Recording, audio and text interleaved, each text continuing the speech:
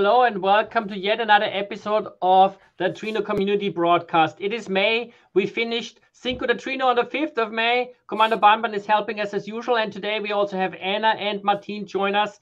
And it is the 19th of May, but actually we're going to talk about the number 17. I feel like we're in a Sesame. We're like, we're like in a Sesame Street uh, episode. I've been watching a lot of that recently. It's like today the number is 17. That's right, and more about that later. But let's what's happening today.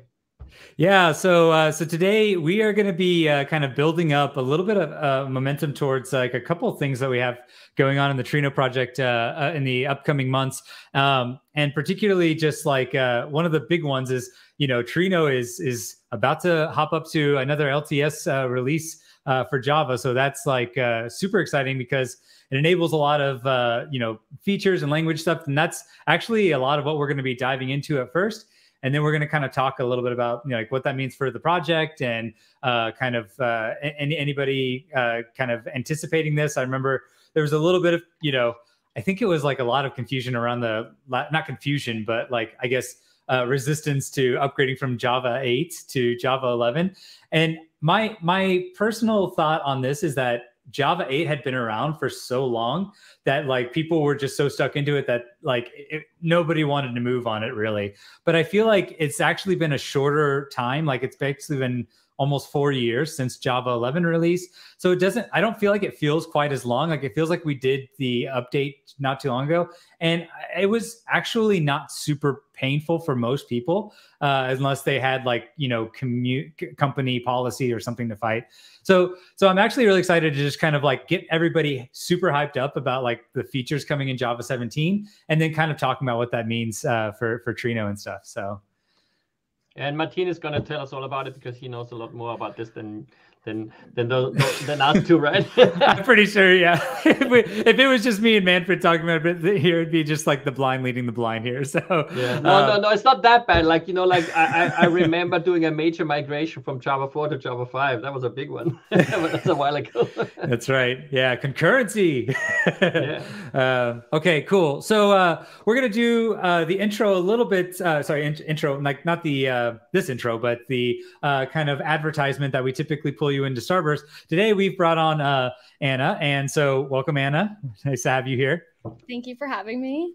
So, uh, so yeah, so we we typically just you know do uh, do an ad, but we we wanted to like pull you in. And first thing, I want to introduce you to the entire community because they don't see you. They actually uh, usually just you know you're working in the background for a lot of things that they come to enjoy, like Trino Summit and Cinco de Trino recently, and Trino meetups. You're literally like, you know, my my backup person to kind of be the liaison to help me plan all this stuff. So I just wanted everybody to know that Anna's amazing, and uh, she's really helped out a lot with, uh, you know, probably sending a lot of you these little Commander Bun Bun bunnies if you haven't got one yet. So so thanks for everything you're doing, Anna, and, and I'm glad that everybody gets a finally a chance to put a, a face to the name if if you've emailed her before.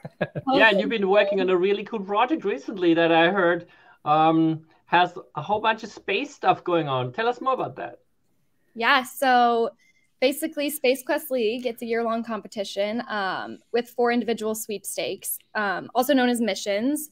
So it's built by data pros for data pros. Um, you compete in SQL query challenges, weekly data wordles, um, I'm also super excited about our do well and do good component, which um, we've allocated $1 per uh, participant up to $100,000 to donate to a charity. So mission one is completed and the winner it will be off to um, the Disney to to explore the Star Wars Galactic Star Cruiser. Um, oh, so that was like the prize for yeah, for mission that one. Was, that was mission one's prize. oh, that's um, awesome.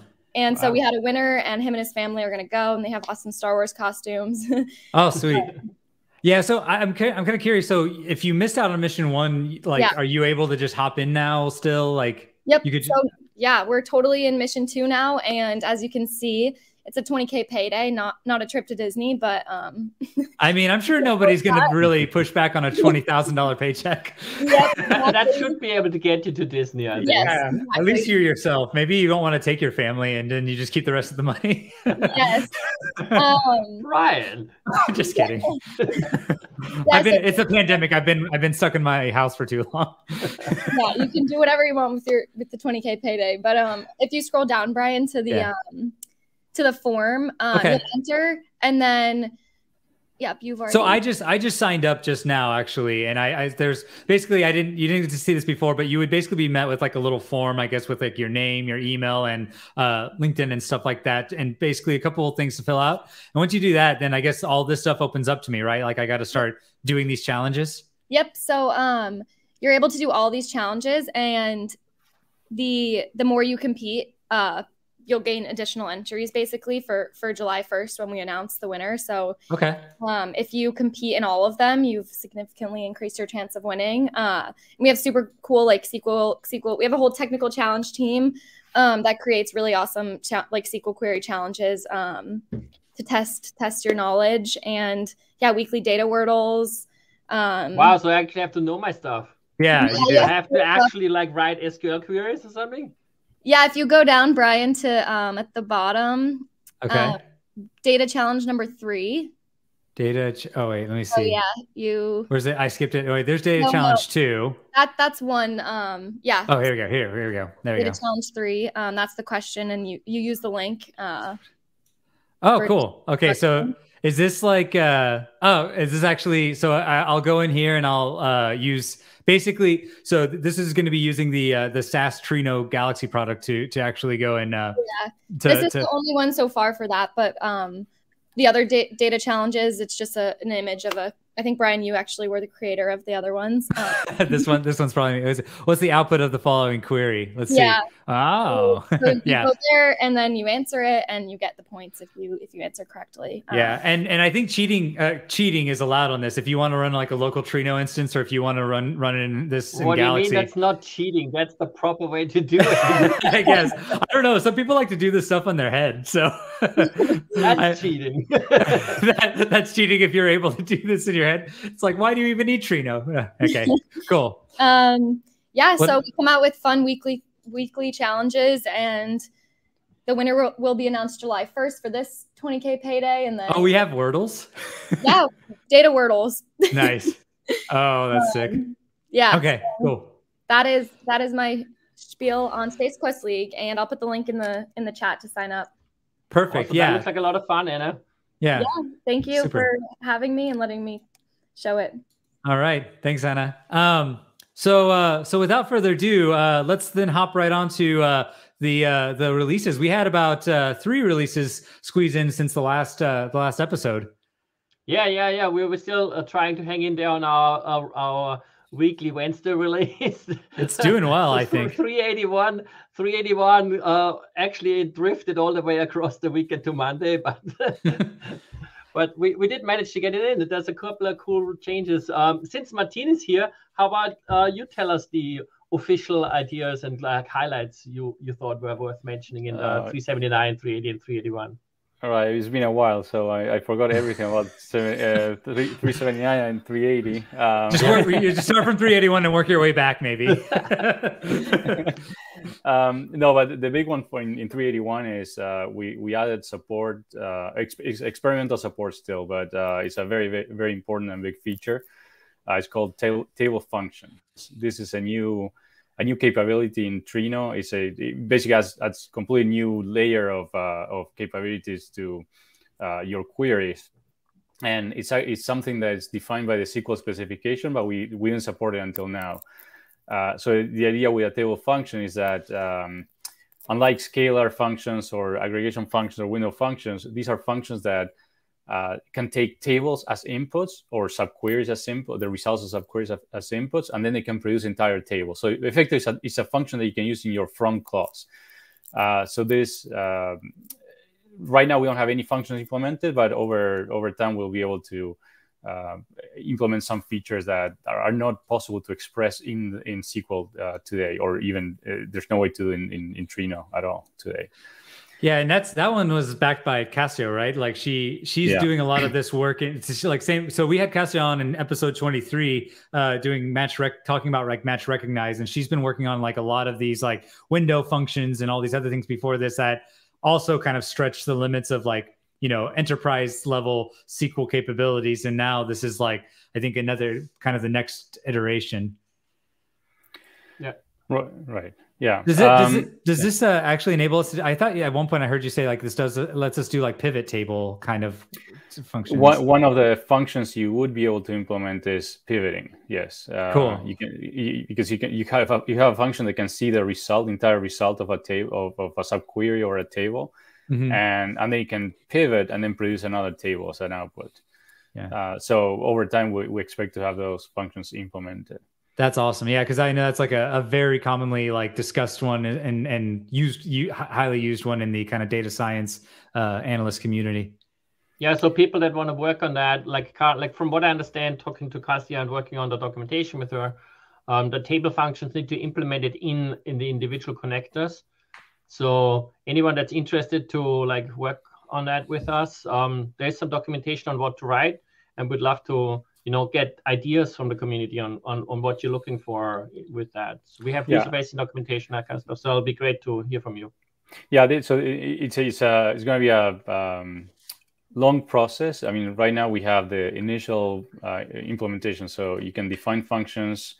Uh, they it's functions that can be pushed down back into connectors so it enables certain certain use cases. I, we're not going to talk about this this today but uh, uh, hopefully we're going to be writing a blog post or something describing oh, yeah. the, the, the capabilities and limitations in the first version. Then over time, we're going to expand that to be able to execute uh, more complex functions. Oh, that's yeah. super cool. Super cool. Um, right. And then the uh, another big one is uh, we now have support for uh, updates with the Iceberg, Iceberg connector. Uh, so we've had that for uh, the Hive connector and, and, a few others. Finally, we, have added that functionality to the Iceberg connector. Nice. And I mean, update has been in the engine for uh, for a long time now, so this just enables it for that uh, specific connector. Um, and then, well, uh, Manfred, I'll let you cover the other ones. I know if uh, yeah, sure, there are um, smaller ones, but uh, I don't know if there's anything you think worth mentioning. Yeah, definitely. Uh, 379. I wanted to mention the MariaDB connector, um, brand new connector. Uh, for those of you that migrated over from MySQL to MariaDB, um, we do want you to change over because um, the MariaDB connector is basically on par with the MySQL connector, but it uses the MariaDB JDBC driver, and there is some there's a better compatibility story there uh, overall. So um, let us know if you're using that connector and like you know send your pull request to add further features and stuff like that. Obviously, um, bunch of performance improvements for Union uh, group by and join stuff like that. Um, Delta Lake Connector has again gotten more improvements. In this case, uh, we now have support for Google Cloud Storage as well. Nice. Um, which is really cool. Um, when it comes to the storage, also there's another interesting change, and that is the exchange spooling uh, from the fault tolerant execution uh, now supports Azure Blob Storage in 381. Oops. And uh, we're already working on Google Cloud Storage support for that as well, which is really cool. Um, if you're Cassandra user and you're still stuck on the old V2 protocol, then you uh, will not want to upgrade because that's now no longer supported. But that's also very, very old. But the upside on that is that the newer V5 and V6 protocols are supported now. So um, basically keeping up with the time, just like we do in many other things. Um, uh, for the table functions, we already talked about this, that basically it's the framework uh, in place. Um, another important thing is um, if you are upgrading uh, to any of these versions, upgrade to 381, specifically also if you're an LDAP user, because this LDAP.SSL trust uh, certificate uh, property uh, for a while was basically breaking your upgrade story. Now that works transparently again because we changed it so it's basically a legacy configuration. So there's no more surprises when you're upgrading. Um, I think that's about it. Um, another cool change that came from Starburst um, for the people that are using the SQL Server connector, we now have bulk data insertion, uh, which had quite a bit of change. And um, something related also that's coming in one of the next releases. I just watched a performance team uh, testing uh, video yesterday. that was super interesting where bulk insertion have some really surprising uh, impact in terms of how this works on Oracle and others. So we got a couple of really cool performance improvements coming very soon there. Cool. I think that's that's the main changes we should be talking about. Nice. Yeah, I and, mean it's a lot of great stuff. Yeah, of course. Also, you know, there's there's quite a lot more actually. If you look at the release notes, the JDBC connectors have a bunch of improvements and other things. Just make sure you check the release notes for those. And as always, um, if you have a proper infrastructure in place, an upgrade is always worth it because there's always more stuff coming. Yeah, and if any of these things uh, really like uh, help out, you know, your particular workflow or anything, and and actually, uh, you know, get you up and running on on a certain use case you're working on, uh, I want to start encouraging people uh, write a blog about it and and let me know, and we would love to get you published on uh, the the Trino blog. Yeah. Especially if you're you're particularly you know something something on this list or something that you know you just started using Trino and and um, it's uh, something that is you know you, are you're, you're really excited about the use case that you're able to solve with it. Um, just just let me know and uh, we'll we'll get you on uh, the Trino blog uh, on the website. Cool. So uh, one quick thing I wanted to recap. Uh, so there now it's like um, two weeks ago, actually literally two weeks ago today, uh, we had, it was uh, Cinco de Mayo and uh, we, we had a event called, we called Cinco de Trino, uh, and basically, uh, we we got a whole bunch of people together. Um, you know, a lot of technologies that were being discussed a lot in the community, and a lot of them happen to kind of circle around maybe like a you know kind of these data lake uh, kind of uh, slash ETL type technologies. So we we kind of ended up coming up with this really cool theme of like a, a data lake house. Trino as a data lake house theme, and Martin, you you had a really cool talk talking about like you know, bringing bringing back kind of uh, to, to me, it was like bringing back Trino to one of its more original use cases, was was like you know, initially kind of replacing Hive. Uh, which some call a data warehouse, but you know, so we'll, we'll, say it was replacing a you know big data data warehouse at the time. But then, kind of uh, more uh, as as time went on, people started to know Trino for like the the federated query use cases and being super fast. But then, as now we're kind of like doing this full circle thing of like getting back to uh, the the uh, uh, you know ETL or larger batch scale jobs that that Trino has always been able to handle since the days of Facebook.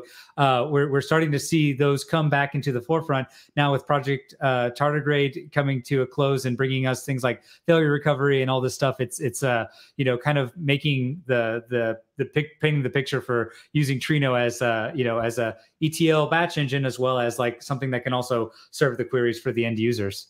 So, um, so you kind of talked about that. We had, you know, talk on Project Tardigrade and what uh, features it was delivering. Uh, Dane did a, a lab on, uh, you know, the, the Starburst product, uh, Starburst Galaxy.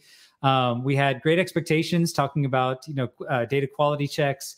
Uh, Airbyte talking about data ingestion.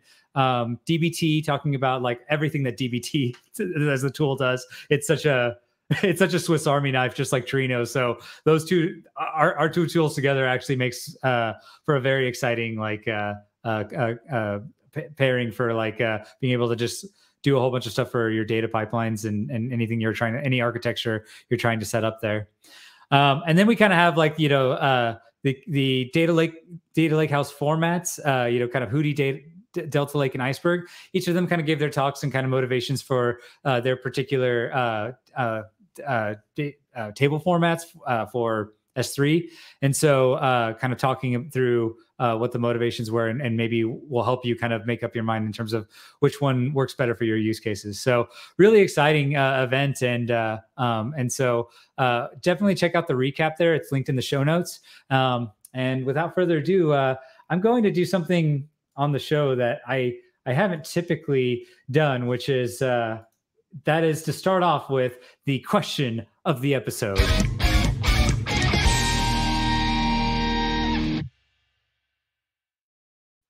All right. So, really mixing it up. What's the question? The question is Will Trino be making a vectorized C++ version of Trino workers? Uh, this has been asked to us a couple times in the in the recent uh, uh, uh, past, and and a lot of people on uh, Slack are kind of bringing this up because there are these frameworks uh, coming out of the woodwork um, that are basically looking to essentially focus on a vectorized computation model and it's all written in C++. And so, you know, the, the question comes in is like, well, is uh, you know, this is a like a lo- long, long old uh, uh, kind of comparison battle with like you know C and frameworks versus you know Java and frameworks and C is faster and but Java has you know more portability. So and people say blah blah right? blah. Like, I mean, So people say, and it's always dependent on the context, right? Yeah. So, so the answer that we have, I, I wanted to kind of have this so that we can kind of have like a, a broad answer for for folks that are kind of wondering wondering this. Uh, and so, uh, one thing is like you know, so Trino has been around for now almost a decade, and it is a very well established and very uh, elaborate uh, system uh, that has been you know been built for for literally like you know a decade with multiple individuals, multiple companies involved, and you know taking something like that and just migrating it over to C++ is is probably not super easy. I mean, I don't know. Was it pretty easy for you to just write Trino? I don't know. Uh, overnight, Martin. Like, what what are your Yeah. thoughts on like building out like you know essentially moving Trino from Java to C++? plus I mean, it took us 10 years to get to this point, right? So,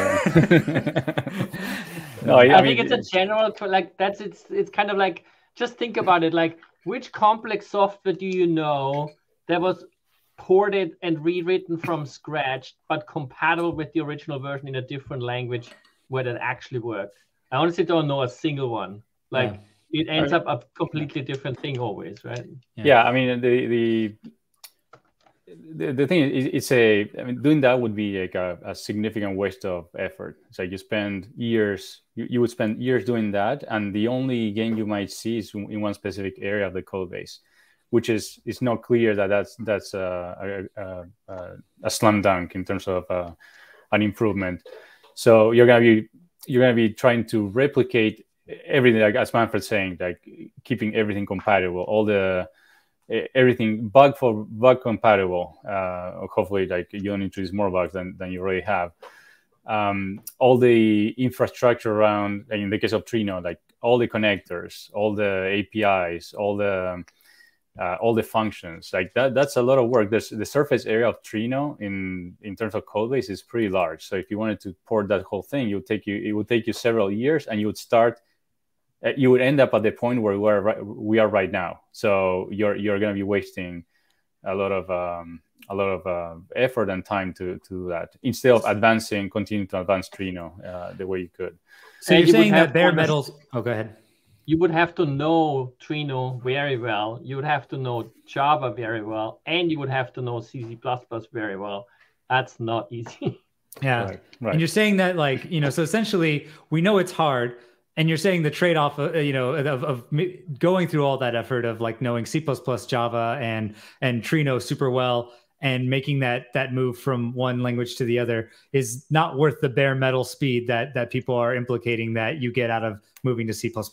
No, I'm, I'm actually hi- highly skeptical of the of those of those wins. I mean, often oftentimes those kinds of wins people talk about are due to architectural changes that you you know and learn from having been doing this for a long time. It's like it's a classic thing. Like, uh, well, when when we started building uh, Trino back in the day, we, we didn't know what we were doing. Like, we were just basing off basing off of uh, research we found, what in, our intu- our intuitions in terms of how to build systems and so on. A lot of things we learned along the way, and there's a lot of legacy in there. Yeah. Uh, there's a lot of things that, and, and obviously the, the use cases mutate might mutated over time. So we learn new things in terms of okay, if we want to do this, we could have done it this way or that way. So I mean, in hindsight, if we could uh, if we could go back to uh, I 2012 when we started, we probably would have would have come up with a different architecture for a large, large portion of of Trino, like in terms of how the, the the internals of the engine operate and so on.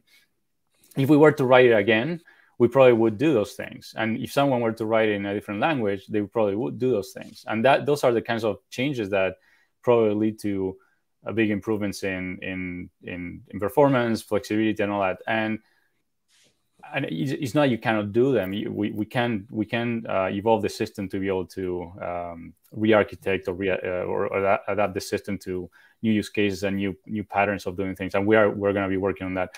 But that doesn't mean that you have to throw everything away to to be able to um, to get to that point. Also. I want to challenge one thing, and that is just because you're rewriting something and you're moving to a different ecosystem doesn't mean at all that it's going to be better. It yeah, could be way worse. It could have lots of memory issues and what like it depends on the platform, right? Like if you're gonna port this, you port Trino to Python, well, guess what? It's gonna be slower. Like it's an interpreted language that can be partly compiled, right? Yeah. Yeah. So just because you port to a different system that whoever ports thinks no, they know better, doesn't actually mean it's gonna be any better than like that's until you've Absolutely. done it, you don't know, right? So that's that's a huge risk, right? Yeah. Yeah. Yeah. So I think the the takeaway and uh, the answer that was was kind of we we give to folks is like you know so Java already actually you know you don't really necessarily need and, and I think there's an implication here as well that like you know in order to to do vectorization right you need to be in C++ or something like this and that's not true at all. In fact, Java uh, even uh, Java 11 already allows us to take advantage of uh, what's called auto vectorization, uh, which we'll we'll cover here uh, in in a little bit. And um, and you basically get like a lot of the code that's just basically as long as it's you know uh, written in the kind of correct way um, or essentially you know in, in a way where it can be uh, detected uh, for basically java to say hey this is a, a loop that happens multiple times and there's you know uh, this this the data that's going across is independent of each other essentially. So let's go ahead and, and run this as a parallel processing command versus you know an, an individual serial command.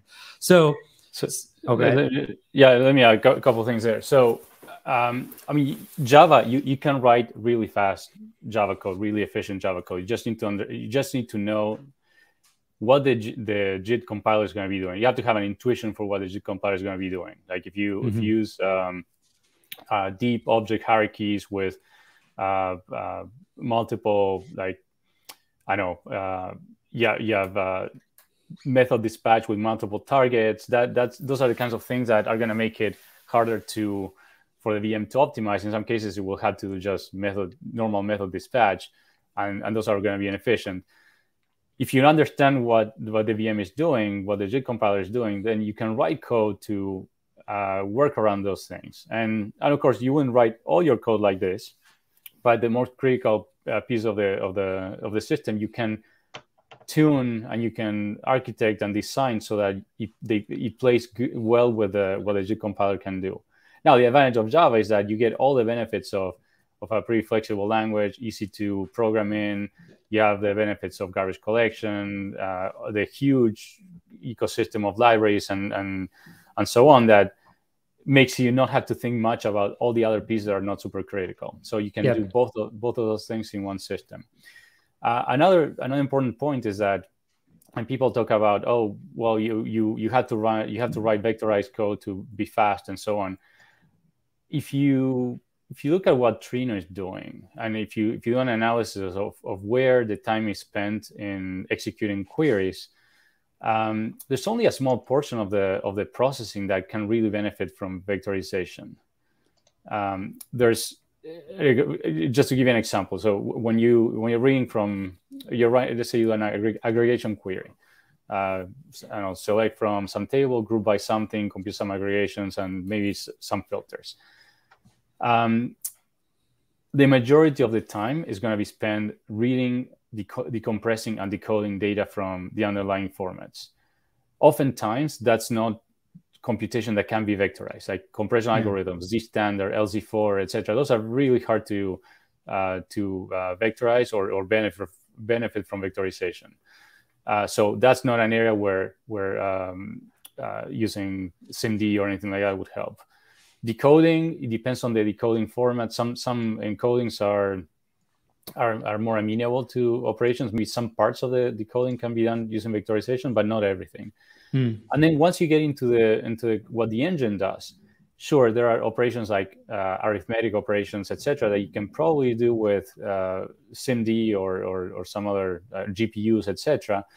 But oftentimes, I mean, the majority of the of the of the queries that you see in the wild deal with parsing JSON, uh, parsing date formats, matching regular expressions, mm-hmm. matching strings, like slicing and dicing strings. Like it's all this type of processing that is not you, you can't you can vectorize. So I, I, and then if, if you put everything together, then you, you end up with a small slice of the of the performance pie that can be optimized by vectorization. So even if you made that, I know, ten times faster, it's not that your system is going to be ten times better in terms yeah. of performance. It's going to be one one small portion. So you have to take all those things into account, and then consider, well, is it worth the investment of throwing everything we built over the last ten years and redo it uh, in a in a new language? Yeah, that's a really good point. I, I never actually considered the, you know, like how, how you go from, you know, like what's the actual percentage of, of those uh like the payload basically. Yeah, what's what's the actual amount of, of workload that is actually going to benefit from this? I had never actually even thought through that. so you you have that number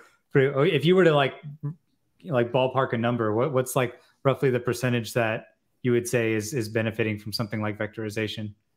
I mean, it really depends on the workloads, but uh, I mean, for, I'm trying to remember uh, when we were at Facebook, um, about 50% of the time was spent in the scan, filter, and project operators. And mm. most of the time was spent in actual reading and decoding data from underlying storage. Mm. Um, then the rest of the time was spent divided between joins, aggregations, and, and some other operators. So like even if you make each of those operators processing, right? yeah, yeah. Um, and then the and, and then in, in in terms of like what the operators were doing, a lot of the time was spent in in like I said, functions that are not vectorizable, like it's uh, JSON parsing, date manipulation, string manipulation, and so on. Hmm. Well, yeah. So I think so we... TLDR. The answer is we're not doing that. we're not, we're not doing that. no, no. Um, and no, I, and, and, okay. and I, will say one, one more thing. Even even if we decided to explore this, the approach would be not to rewrite the whole thing and throw it, throw out, throw away what we have and rewrite it from scratch, but figure out ways to slowly replace parts with um, something that's more efficient. And, and and today, I mean, currently, it's hard to do um, interoperability within Java and C++ efficiently. There are a bunch of gotchas there. Um, it will be better in the future. Like there's there's a project Panama from uh, from the, the, the Java community that is uh, aims at ma making the integration between Java and other languages much much uh, simpler, more efficient, uh, easier to deal with. So no more JNA. right, JNI, JNA, all those those things are going to be much easier to deal with. Yeah, yeah, yeah. It's it's not even it's not even going through native stuff like those old native libraries, right? There's like a whole new thing that they're they're working on. Yeah, I mean, there's a whole ecosystem of, of uh, APIs, libraries, tools that, that they're working on.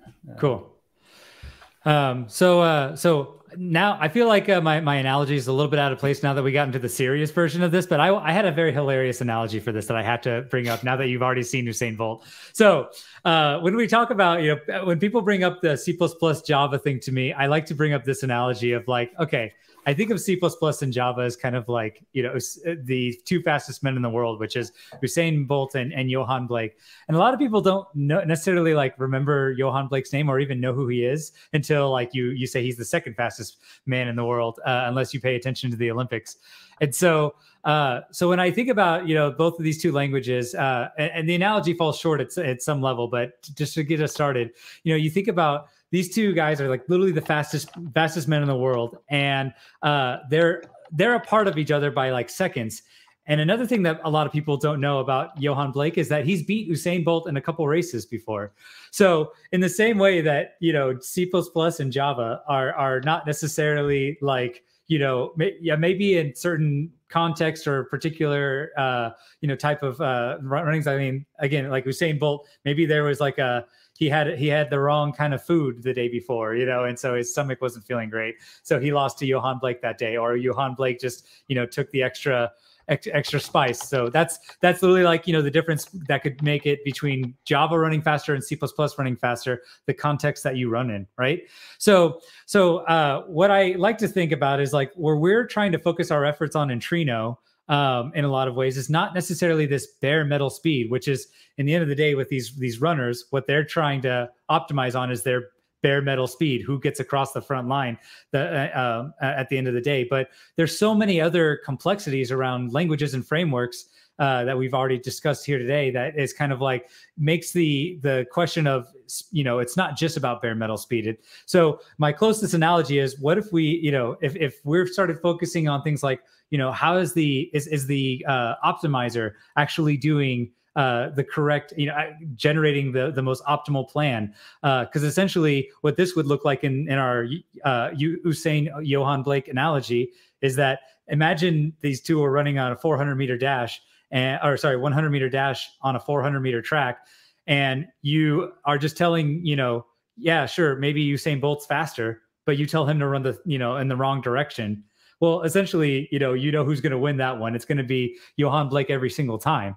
So what we're trying to do is focus on other uh, areas and and really di- dive in deep in terms of what is the query engine doing? What is the query engine, you know, do wasting its time? Is it spinning on, uh, you know, up on uh, incorrect things? during runtime are there new things that we can learn to basically make a better query plan and that's uh, some of the things that we'll we'll talk about later but ultimately we want to make sure that our query engine is moving in the right direction versus thinking through just raw speed all the time. So some I I, want to just basically you know have this kind of moment to think you know it's uh, there are it's a multi speed and performance when it comes to query engines is a is a multi-dimensional very high dimensional uh, problem and things to think through. And you know martin and manfred uh, you you all said it beautifully. I just was here to bring in the hilarious uh, running analogy. So Anyways, with all that being said, uh, I think we that sets us up pretty well for uh, the concept of the episode.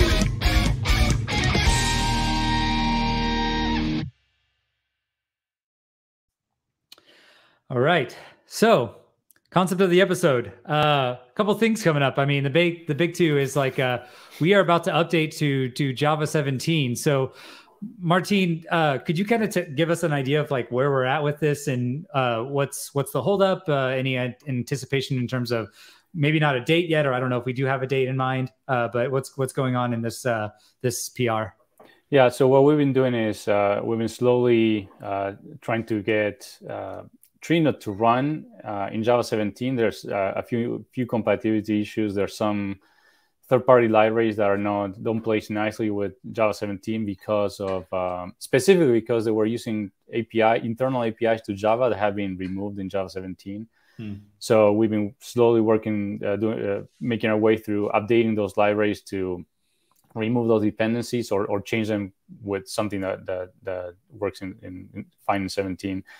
So the um, I think we're pretty close. I think there are a couple connectors that still have problems. The core of Trino does work with Java 17.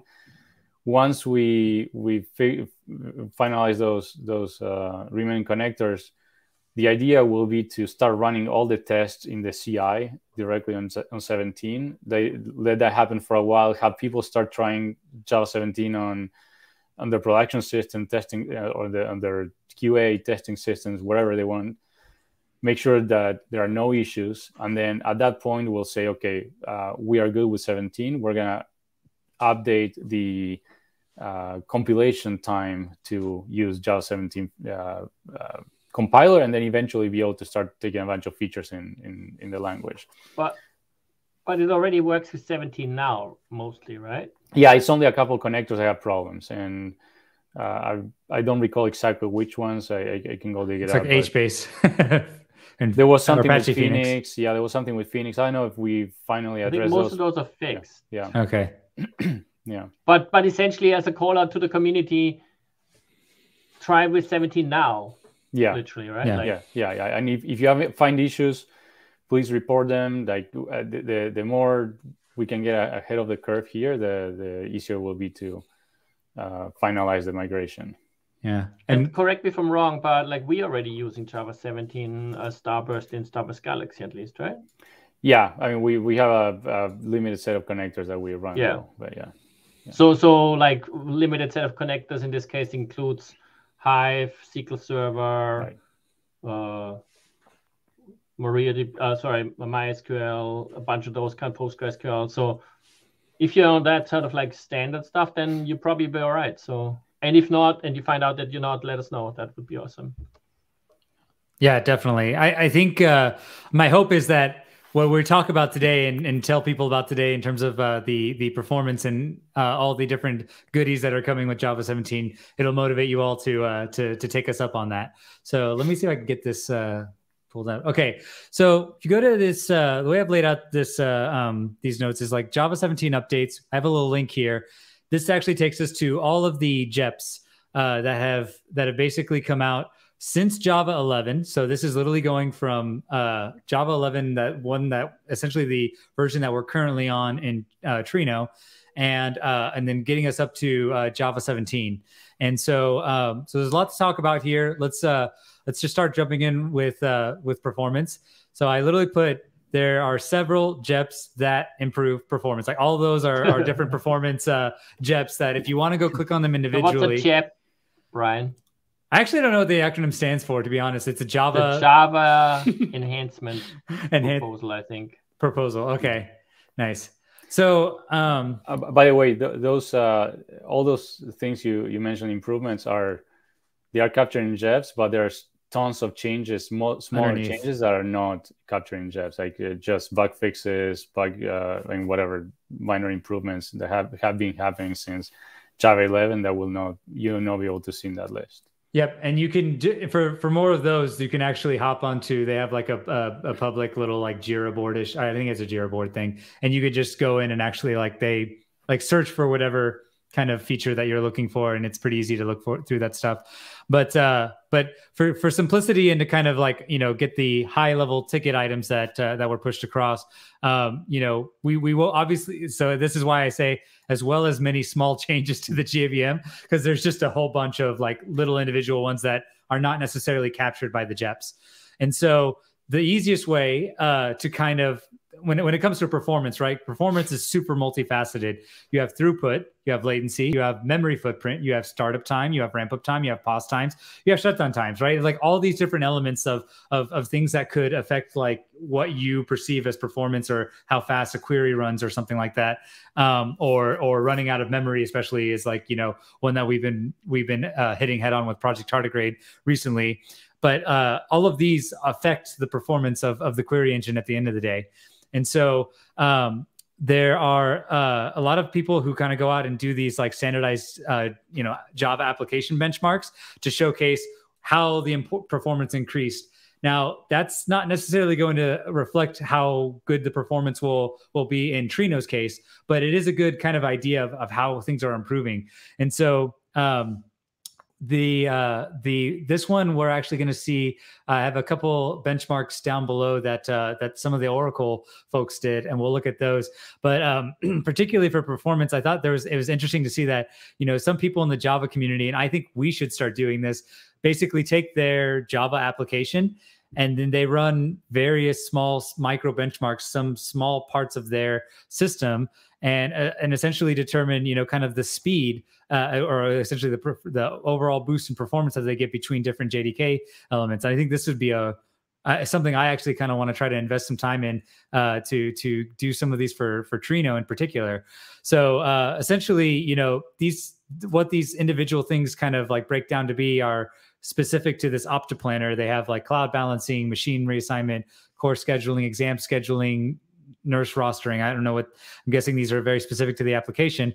And in general, when you look at, you know, when they're comparing running these same operations in JDK 11 to JDK 17, um, the blue ones here uh, are, are, showing the the perf- increase or decrease in performance. It looks like for one of their particular things they run, there was a it was actually a significant decrease, but for all the rest, they see uh, in the in the aggregate uh, what they uh, claim is a 8.66% speed uh, when they're using the G1 garbage collector. And, and so, the default one, right? The, uh, that's the default uh, garbage collector, and that is the one I believe we're using. You know, like at least in our our suggested settings for yeah. um yeah. The so recommend for for Trino, yeah. The one we recommend as well, yeah. Um, And so, uh, Martin, uh, you actually did uh, a set of micro benchmarks earlier last year. Um, you said it's 10 to 15% improvement speed. Could you just kind of, I, I want to eventually take these and, and run these and get these publicized, but uh, at some point, could you just kind of talk through uh, the benchmarks that you were running, how you split things apart, and and, and what you were seeing in terms yeah, of these this, were uh, some? These were some micro benchmarks we have in the Trino code base for uh, uh, testing different parts of the system. Like we have some, I don't know, whenever we, whenever we make a change to something that is performance sensitive, we add a, a micro benchmark using JMH. And um, I, I, think these ones I run were for some of the core operators, like the scans, uh, filters, projections, and so on. Mm-hmm. And I tried them both in Java 11 and Java 17, and, and there was a difference in performance of about 10 to 15 percent. Wow! Um, is that those that that Benchto driver stuff? No, no, no. This is JMH. This is a oh, simple okay. JMH uh, micro benchmark. So of course, it doesn't mean that if you run in 17, you'll see 10 to 15 percent improvement in performance overall, but some parts are going to be more efficient.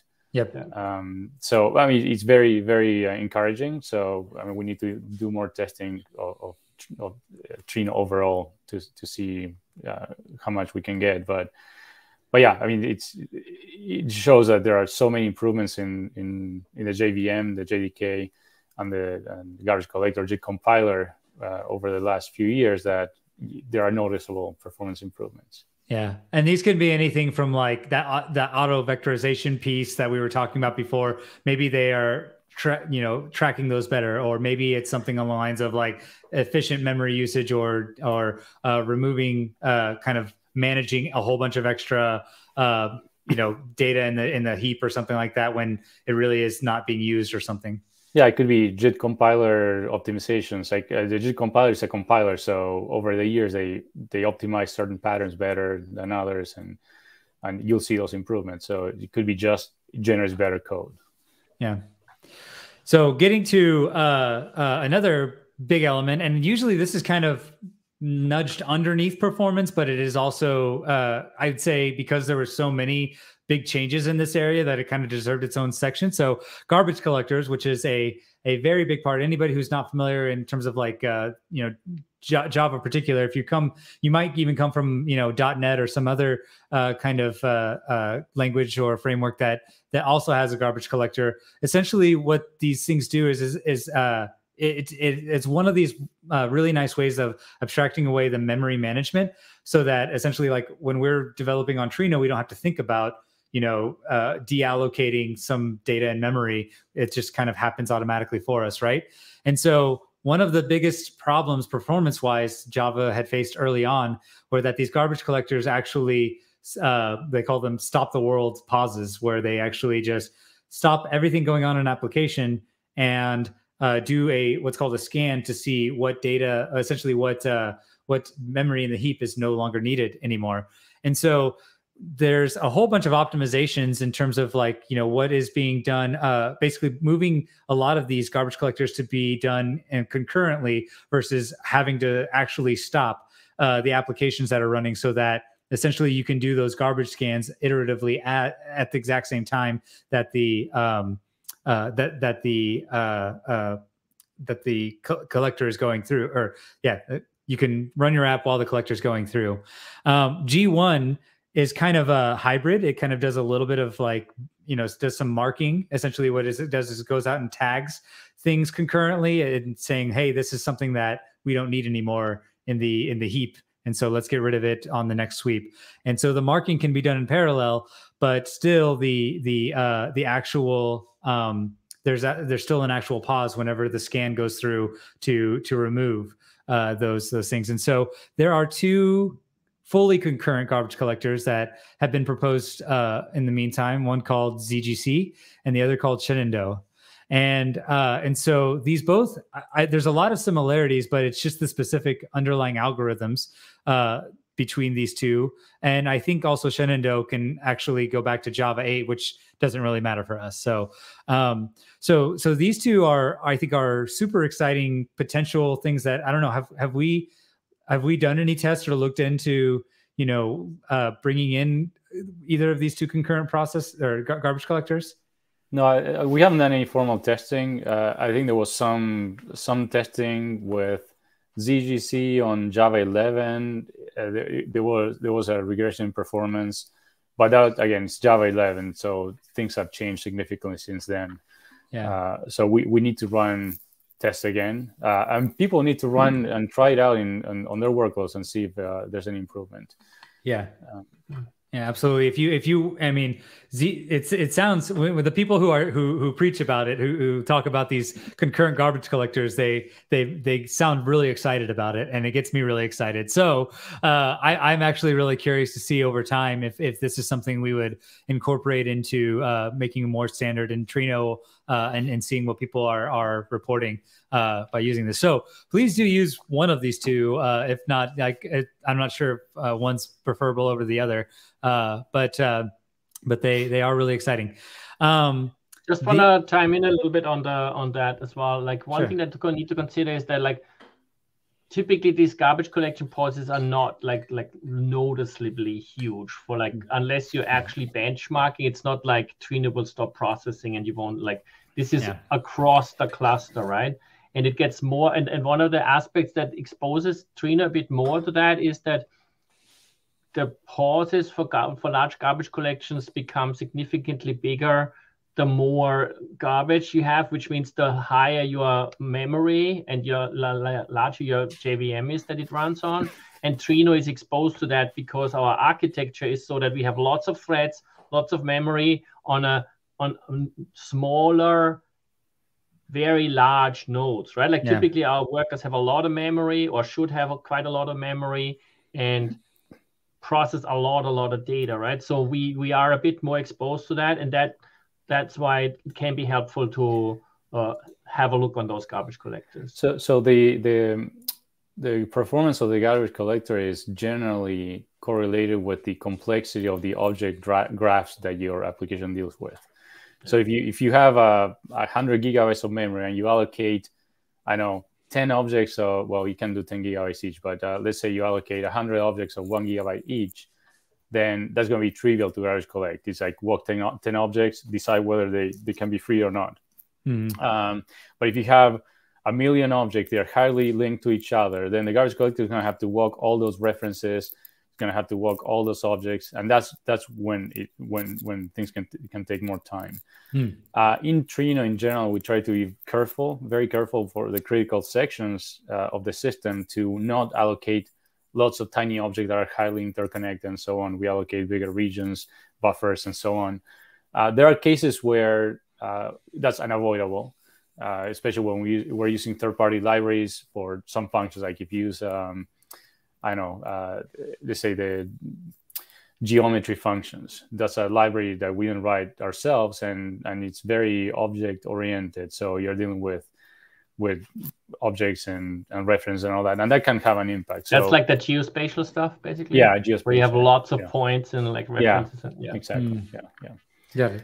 Um, How much is that also affected by the fact, like, um, you know, like I typically when you work with like object storage connectors and stuff like that, um, it's always one of those things where it's better to have fewer larger files. Does that also impact it? So if you like rather than having like in a storage, you have lots of small files. Does that also have an impact that it goes all the way down to the garbage collector, or does that really not go that deep? Generally, not that big of a deal uh, because, well, I mean, what's going to happen is each file is going to uh, have a handle have a handle associated with it. Um, there's in, in Trino there will be a split associated with it. So that that means more objects, but generally those objects are not very connected to other objects, so they're uh, easy to walk easy through. Okay. Uh, they are also not like millions and millions; they are thousands. So those mm. are the kinds of things that the, the, the collector can do, can walk over very quickly.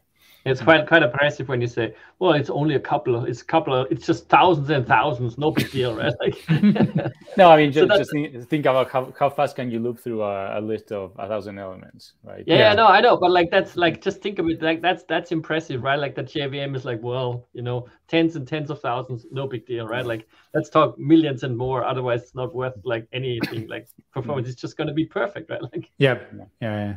Yeah, it's good to keep those like have those rough numbers in mind, especially when you know folks like the maintainers have to keep this stuff in their heads right? Of, of like what's the, the how's the implementation going to affect you know garbage collection and all yeah. these other elements in the jvm it's a it's a hard task. Exactly and, and and there are things that we did in in trino that that make it make it work well or at least play well with g1 uh, g1 uh, splits the, the memory into regions regions can be of variable size up to 32 megabytes. Mm-hmm. We actually recommend using 32 megabyte regions. And, and then we size objects so that they fit or try to size allocations so they fit in those regions because otherwise you trigger uh, what's called humongous allocations that get handled differently by G1 and, and have other uh, potential performance issues. So so it's like we, we do write the software to play well with the garbage collector. And hmm. and that's our consideration when we when we try other garbage collectors, we need to understand how do those garbage collectors think, how they how they operate, and and, and we may need to different make different trade-offs in the in the system. We want if we're gonna adopt one of those as a as a primary uh, recommendation. Yeah, and I do on on that note too. If anybody is really interested in this, uh, I, I do have a couple links here in the show notes, uh, particularly around uh, you know learning Java garbage collection in the last 10 releases. So this was actually a really cool talk uh, by Oracle. And then uh, this this concurrent garbage collectors actually compares ZGC and Shenandoah. So it gives a lot of good uh, a lot of good in depth about you know what's um, what what what to kind of understand how these work differently from from G1 in particular.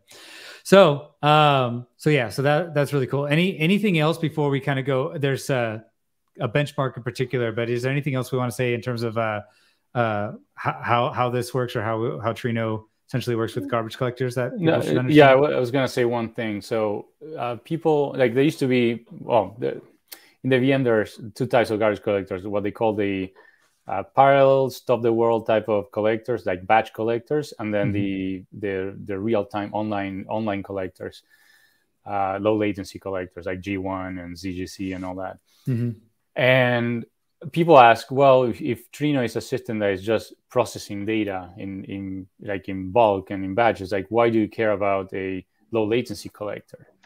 Uh, why not use one of the parallel collectors and just let it, let, let, it collect when it has to collect, pause when it has to pause, and at the end of the day, all you care about is the uh, latency or the end-to-end latency of your query, not not uh, you don't care about it's not like you're dealing with an interactive application where you click on something and you need a response immediately and you can mm. wait five seconds at that point um, the and the answer to that is that yes that is true that trino processes did in bulk and all that but it is a uh, complex distributed system that is sensitive to timeouts when nodes are talking to each other um, there's timeouts inside trino in, in, in, in the core so those timeouts are affected by pauses in the garbage collector. So if, if one worker is trying to get data from another worker and the, the other worker pauses for, say, five minutes because mm-hmm. it's processing uh, its 100 gigabyte heap and walking everything and marking and stuff and, and collecting, then, well, you're going to have a timeout. And timeout means a failure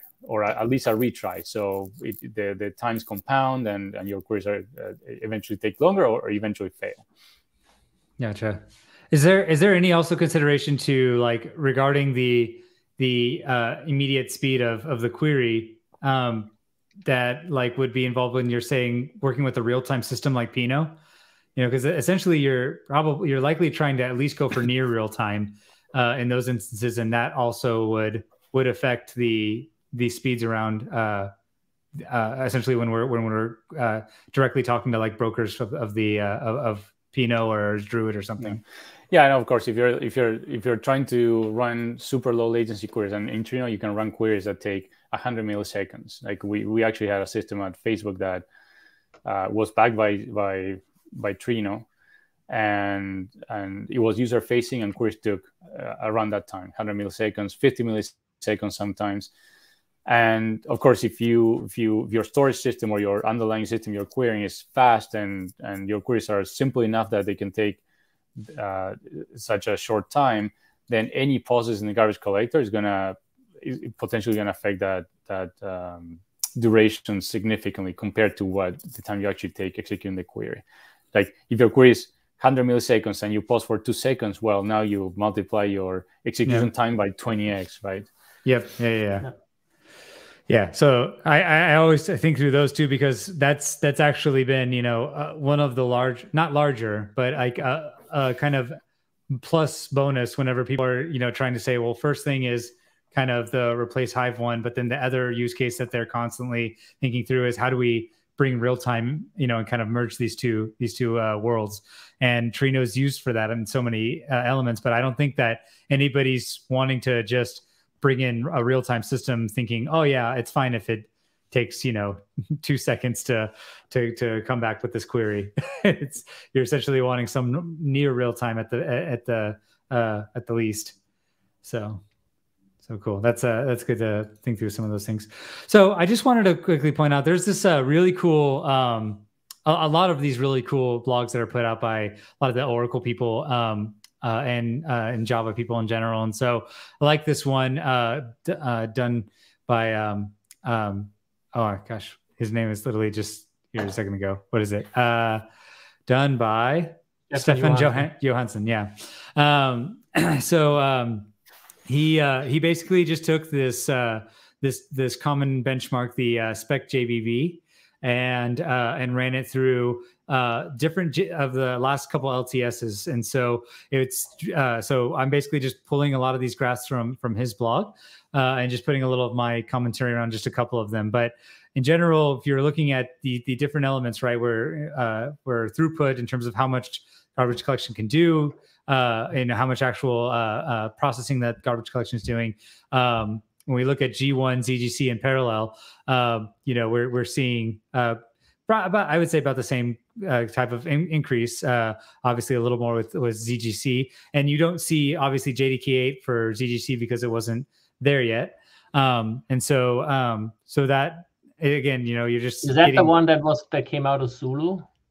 Um, I am not sure if that came out with. I, I know it came out specifically with uh, uh, with with JDK 11, uh, mm-hmm. and and it was it was not it was in an incubator I think with JDK 11, so it was possible, but it wasn't actually like in the in, in production. In fact, actually, the only thing ZGC or Shenandoah became production u- uh, usable until like the last two the okay.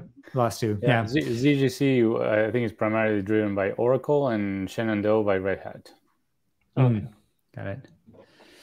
Yeah, and I think uh, Red Hat was like their big goal was to make it backwards compatible for for different reasons. So, um, cool. So uh, then you know latency. Um, we're we're seeing again, you know, higher is better. Uh, that essentially we're uh, expecting lower latency queries uh, coming from uh, these the the speed in which the um, the garbage collector is able to actually uh, uh execute, and then we are uh, the thing that I really wanted to zoom in on were these uh, pause times that we were talking about before. And so, what are the actual expectations around the the pause times that that we come to expect?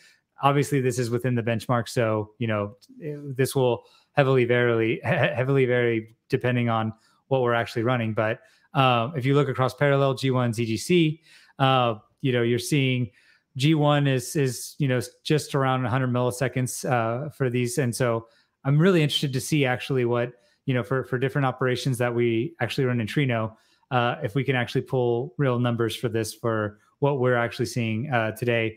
But you know, this is still a good benchmark to compare across uh, the different JDK versions, and uh, you know, you do see these uh, relatively big drops. But I think the one that gets me super excited for the G- ZGC is the potential that yeah we could we could potentially see anything from 0.1 millisecond uh, delays in these pauses, and this is all really due to that uh, concurrent running of the uh, of the deallocation um, uh, bits there, and they've just uh, really um, you know put a, put a lot of extra effort into um, uh, making that non non uh, um, non-intrusive. Uh, then obviously, you know, we're looking at uh, the peak memory. Uh, ZGC is surprisingly, you know, uh, higher than I, I was expecting. You know, it is uh, still, uh, I'm guessing, because it's it's able to do so much uh, and do it super quickly. It's it's a bit of a memory hog in comparison to G1. But looking at uh, G1 in terms of uh, its memory footprint, this is one kind of cool slope that I like to see in terms of like going from JDK to J17. But uh, there's another uh, graph that I saw uh, which actually put this in, in even a better context. So you look at JDK8 and they you know run ran, use this big RAM tester test to go using G1 across you know everything from JDK 8 all the way to 18. So these are the three that we just saw up here. And that roughly shows kind of what we're expecting. We go from six gig, four gig in JDK 11, and now we're actually cutting that in half uh, yet again. And so it's, uh, well, not again, but cutting it in half in this particular jump from JDK 11 to JDK 17. So it's it's uh, the the implications here are that you know uh, this this is going to relieve a lot uh, of of uh, uh, uh, of, of, memory space. Essentially, a lot of the things that we run into in terms of running out of resources in Trino. Um, you know, moving moving from uh, JDK 11 to JDK 17. So I think this is this gap right here should be one of the biggest reasons why you should be like, oh my gosh, we should be. It's quite amazing when you look at that 17. chart, and it's like for 20 gigabyte heap and then eight gig on our G1 native memory usage. Yeah, it drops down to one. And what I'm surprised, and I didn't realize that is they must have done some significant change again from 17 to 18 already. Yeah. Like it drops again a lot. Almost right? a half. Yeah. It's like literally half and half in this one. This one, uh, two is already big, big, right? But then another two gig drop yeah. in terms of average usage. It's, it's, it's pretty, pretty cool. So it's hopefully we'll see similar results in certain, certain aspects of, of Trino as well, uh, moving to JDK 7. But uh, that got me super excited when I saw this this particular graph uh, for the uh, for the G1 garbage collector. Cool. Uh, so we're we're uh, we're hitting the hour now, so let's uh, let's keep moving on. So Vector API um, just hit its second incubator status in JDK 17, and so um, I wanted to quickly before we hop into like exactly Vector API, I wanted to actually talk about like what is auto vectorization. So uh, Daniel Strecker wrote this awesome, super awesome blog uh, that basically goes into uh, a lot of these details. Uh, so definitely check out this this blog, uh, and if you're wanting to uh, essentially get um, more more context into this. But the example that he uses here is is I think super valuable and something fun to even just run on your own. So he has this small class to run this benchmark and essentially just uh, uh, goes creates a for loop that calls this uh, method that yet again has yet another for loop. And this is uh, essentially you know each of these instructions each of these multiplication instructions basically just squaring some some value in this uh, array and then returning it back to the original value. Um, this is uh, um, you know an instruction that can be executed uh, across multiple uh, you know, multiple par- parallel sets of instructions. So you could think of this going across threads. Uh, this could also go across, uh, you know, uh, different instruction sets. Uh, like that we'll will be you know looking at too in terms of the the the core hardware. So what he does in this blog is he basically uh, compiles this and runs it with the compile command with the print print compile command. And uh, that, well, I can even show it to you here. I just didn't want to put it in the notes uh, to have too much stuff. But basically, this spits out the uh, the bytecode, and he points out the specific uh, execute or the specific instruction. Um, uh, no, sorry, not the bytecode. This is the actual. Uh, yes, um, as assembly code. Um, and so this is the actual uh, assembly command that gets generated whenever you're not using auto vectorization. So uh, it stands for multiply scalar single precision. When you turn on auto vectorization uh, or run it with auto vectorization, then you have uh, VMULPS, which is multiply packed single precision, which is that uh, the SIMD instruction uh, that gets used alternatively. So that's auto vectorization. That's like what we have today. And Java is able to determine this because, again, he kind of has this comment here repeatedly invoke the method under test. This causes JIT compiler to optimize the method. So, so that's that's a you know essentially taking what we are doing in, in Trino, uh, you know, uh, super like super smart people that understand uh, the the JVM super well and how the JIT compiler does things like Martin and, and a whole bunch of our uh, uh, super talented folks on uh, the maintainer group understand. Hey, th- we need to basically uh, when when Martin says this, let's make the loops tighter. This is what he's talking about, right? Um, do you have anything to kind of expand upon there, Martin, that I'm maybe missing in terms of nuance there? Yeah, it's basically you need to make sure that the, the loops, when you say loops are tight, is like, um, for example, there, there are some there are some optimizations that, that the JIT compiler does, and, and some of these are changing. For example, if you have a, a, a loop over an integer variable with a constant stride and, uh, and a constant limit, the, the, the VM can can generate code without it, it can avoid in certain certain certain kinds of uh, checks in the middle of the loop. Those checks can be expensive. Yeah. Uh, if you have method invocations, like if you, you want those method method invocations to have a single target, like put uh, for example a static method or or a method with a single uh, if it's an interface or a or a, or a abstract, abstract method, uh, a, method that has a single target in practice, uh, because mm-hmm. otherwise it becomes what's called a, a, a megamorphic or bimorphic uh, call site, and the VM has a harder time optimizing those and ends up having to dispatch. What you want is the, the VM to inline all that bytecode and generate one compact uh, uh, piece of uh, native code. Nice. And and that that, that that's basically uh, that's what it means to to make it loops tighter in that sense. When when you uh, when you do that, are you usually like actually do running this kind of command and generating that code to see you know like or, or is it or does that vary every single time depending on the query? Well, it, it varies. I mean, you can't so it's a double-edged sword because you can say, well, if I write the code in this way, uh, I have an intuition that the VM will do the right thing, but you can't really count on it every single time. Like the VM will do, for example, if you have a, a, a method that invokes a bunch of other methods, the VM will decide on its own which methods is going to inline or not based on the frequency of invocation and, other factors. Hmm. So if you if you're expecting or you're hoping for all of them to be in line, then I know in one version maybe of the of the VM may do one thing, a different version may have different thresholds. It may do diff- something different. So you mm-hmm. can't rely on it, but you you build an intuition of of these are patterns that will make it better or worse, and then you go measure it. You run micro benchmarks. Uh, and, and you generate the assembly and look at the assembly and see oh, is, it, is it actually doing um, method calls? Is it inserting all the all these uh, checks in the middle, like and what's causing that, and you can tweak the, the code a little bit to make it uh, make it better. Of course, it's ah. not something that you do all the time. You think about all the time, but when when it matters, like you have to look at it. And then there, so you got to a, a really interesting point of saying, like, you know, so you can't always expect the essentially the the compiler to do what you're expecting it to do, right? So if we take Vector API, um, you know, this is kind of why I think Vector API has come to the forefront is that there are people who now want to have a little more control over, you know, how, how, that happens. So, um, I, am gonna, you know, so we, I think we pretty much understand the intuition as to why you would want Vector API because now you can actually have a lot more fine grained control over exactly how this happens. Um, do you think this is something that we'll want to invest in?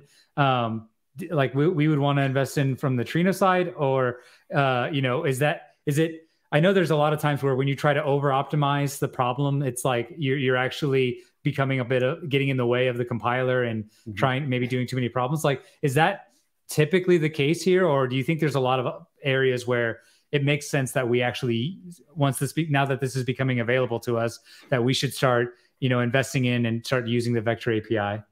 No, there, there are lots of places where we could use it today. Uh, there's actually I, I was I was running some some benchmarks last year that um, and there are, there are certain operations that we do over arrays like so you're you're doing some I don't know processing masks uh, or, or converting from I don't know. Uh, so inside the engine, we we we use arrays all the time, like for very specific operations, mm-hmm. and and uh, using the vector, vectorization APIs can have a significant improvement. Like there was one case where I saw it was like a 20x improvement for one method.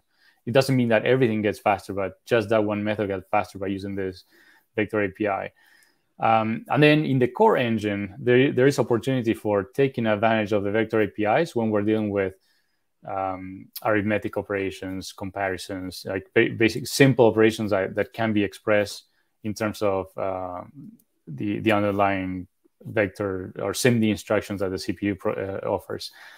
That requires um, re-architecting uh, parts of Trino in terms of how the operators work, how the the operators uh, reason about expressions and applying expressions to the data.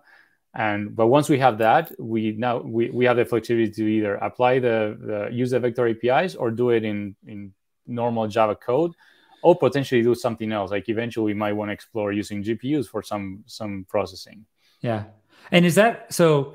From my understanding, Vector API is for like helping us tap, tap into SIMD, but does these do these also help us tap like potentially into like is there a way to tap that into GPUs or or how do we actually do the GPU part? I, I no, still haven't G- connected G- that. Yeah, so GP so Vector API uh, is a front end for SIMD instructions in different processors. Effectively, like it's, it. it's abstract enough, but it's it, it, that's effectively what it does. For mm-hmm. GPU, we would need to use a separate libraries that know how to interact with uh, GPU. There's um, I know CUDA and other libraries that can take advantage of.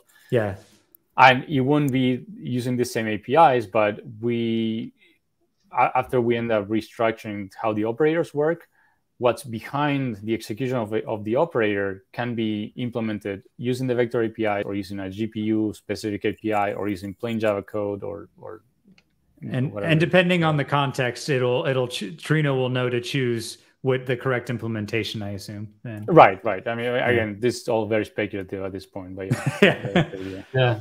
Yeah. And it also has huge effects on deployment times and stuff like that, right? Because then you would have to decide, well, do you want a machine that has that sort of like design? I guess. Correct. Yeah. Yeah. The cool. nice thing about the vector API is that um, it, it, it has a, a, level of abstraction where you can you can run write that code and then it will it will be able to compile to different CPUs like Intel or ARM and and and then in the cases where it can't um, run on on some platform, it will fall back to doing the the loops in the normal way. So mm-hmm. so it's as if you had written the Java code in the normal way. Yeah, that's that's super cool. I mean, obviously, yeah, that you would almost expect that, but at the same time, it's like, yeah, it's good that that happens, or else it just like just blows up.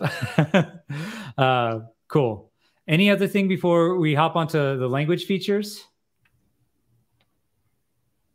All right. I think it's. I am actually really excited about Vector API. I think there's a lot of potential there. My only like kind of small concern, I guess, with it is that like uh, you know, in terms of maintenance, right? Like, what does that add in terms of the maintenance? But it sounds like if we refactor it the right way, do the typical kind of like you know Java modularization, it shouldn't be too hard to to maintain. Hmm. Um, so language features. Uh, so this you know kind of hits more of people who are implementing uh, and actually contributing to to Trino um, uh, or or anybody who's just writing anything in Java these days. But uh, uh, but this is uh, a lot of really exciting stuff when it comes to like. Uh, I think I think in particular a lot of our tests for this first one, uh, we have a whole bunch of tests that you know has SQL, it has JSON, it has like uh, uh, particularly I think JSON because of my Elasticsearch tests and and things like that. And so when you uh, when you have a lot of the uh, traditional like uh, kind of one dimensional literal strings that you want to kind of represent the way that they're that these strings are represented in like a text file you you end up look getting something that looks like this. So you'll you'll need to make sure you do escapes. You need to you know for for the quotation marks you'll need to make sure that uh, anytime there's a a new line that's that would be in the actual document that you do a dash n. And this just becomes ridiculously hard to read. And a lot of times you you may accidentally put a you know sneak a, character that's not supposed to be in there and it ends up you know throwing off a test or or doing something really funky right? Um or in, not even in the context of testing this could even be you know real real code that goes to production right? So uh so it's just making this simpler to read was uh is, is a big deal a more big deal than maybe it it seems at, at face value. And so uh, so multi-line text blocks uh, was one of these things that was added. I don't remember exactly uh, which version. This was in yeah, 15. 15 or 15, yeah. 15, I yeah. Think, I think it's important to point out that these, like now we're talking about language features. So up to now, we talked about just adopting Java 17 as a runtime. which Yeah. you can do now. You can test now. You can play around. Our next steps will be to make it so that the required runtime is Java 17. And when we do that, then we can also change the compilation level to that language. And that's when the language features can come in place because it will make our maintenance of the code base easier because we can easier. take advantage of these clean features. Yeah, yeah, good, good way. To, I didn't think about that segue, but yeah, that's that's a fair point. Yeah, so this, uh, this, this will definitely to, to Manfred's point. Yeah, it'll it'll definitely be something that you won't be able to just you know hop in and start writing Trino code using this until we've gotten to those those other checkpoints essentially where uh where we where we've uh enforced the Java Java 17 uh, for people running it, and for people who don't want to contribute at all. That you know, you you don't have to even pay attention to this part. You could skip over this and just you know just know that if you upgrade to Java 17, things get faster, right? So, um, but for those that you do want to contribute and are writing Java code and and uh, uh, enjoy enjoy jo- a, a little bit of Java in your life, uh, this is this stuff is very relevant for you. So, um, okay, so I mean, multi-line text blocks I can't underestimate like, or under understate like how huge that is. It's like it feels like you know like uh maybe some people don't think about it as like super awesome until you've actually worked in with with uh, a lot of these and made a lot of the simple like uh errors that you can make in goofy looking stuff like this. Okay. Next one, switch expressions. Um, another very like highly hi- high potential for like uh, uh, doing um, making a lot of mistakes in particular, like these uh, this break logic. So those that aren't familiar with uh, how switch cases work is you know you essentially have this day and uh, you uh, would have like different cases like Monday, Friday, Sun- Sunday. Maybe these are like string literals, and you're comparing them to say, does the day match this day? And if it does, then do whatever's underneath this case. Well, this case is next to this case. So basically, what this is saying is, you know, print six in the case of, uh, you know, Monday, Friday, or Sunday. And then after that, there's this break element here that says, okay, don't keep going down uh, here. But there's a lot of times where this this syntax in general is in the same way that it's just like uh, there, there's a visibility issue of like accidentally maybe you didn't realize Friday was sitting here between Monday and Sunday. It's kind of the text starts to blur whenever you're looking at it, um, and it's just not super uh, super straight straightforward and clear, right? Of of uh, uh, that that this is what you're actually going for. You have three different case statements, yet all of a sudden you're you're pushing out into uh, you know uh, this this one bit of functionality. And if this break maybe somehow gets moved by accident, then you're actually moving on into other uh, uh, code segments. What were you going to say, Martin?